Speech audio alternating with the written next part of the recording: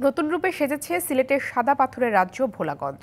পরপর কয়েক দফা ঢলে মেঘালয়ের কোল থেকে নেমে, নেমেছে সারি সারি ছোট বড় পাথর।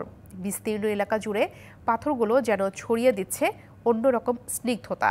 কমেছে বন্যার প্রকোপ, তাই ঈদের ছুটির সময়টায় আবারও প্রকৃতিপ্রেমীর ভিড়ে মুখরিত হবে সাদা পাথর এলাকা। তাদের সেবা দিতে প্রস্তুত সংশ্লিষ্টরাও। কিছুদিন আগেও মেঘালয়ের ঢল চোখের জল হয়ে ভাসিয়েছিল সিলেটের বিস্তীর্ণ জনপদ। ডুবেছে সাদা পাথর, বিছানাকান্দি ও জাফলং সহ প্রায় সবকটি পর্যটন স্পট।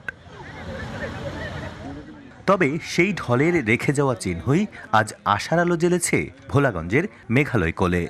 স্থানীয়রা বলছেন, এবারের ঢলে সাদা পাথরের সংখ্যা দ্বিগুণ হয়েছে। পাহাড়ি ডলে প্রচুর পরিমাণ সাদা পাথর এসেছে যার ফলে গোলাগঞ্জ সাদা পাথরের সৌন্দর্য বৃদ্ধি পেয়েছে। বালা লাগের এখানোর পর্যটন হিসাবে but we need more facilities এখানে অত ফেসিলিটিজ নাই ফর দ্য টুরিস্ট সকল লাগে। বন্যা যাওয়ার পর থাকি মোটামুটি আশা করা যায় মনে করো ভালো হইতে পারে দূর দূরান্ত থেকে মানুষ আসতে পারে।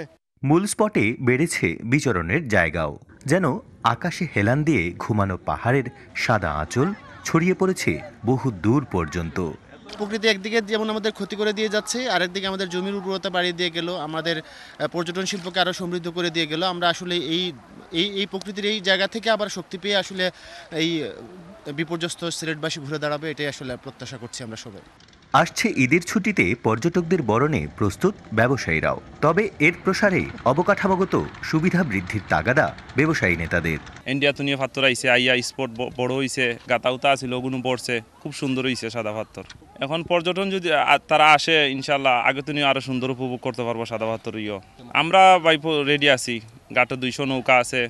সরকার নির্ধারিত যে ফি বিভিন্ন জায়গায় নৌকায় বা বিভিন্ন ঘাটে দেওয়া লাগে এর চেয়ে অতিরিক্ত টাকা আদায় করা হয়।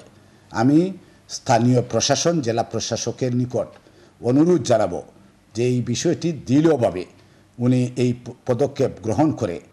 পরপর দুদফা বন্যায় সিলেটে পর্যটকদের আনাগোনা ছিল একেবারেই কম।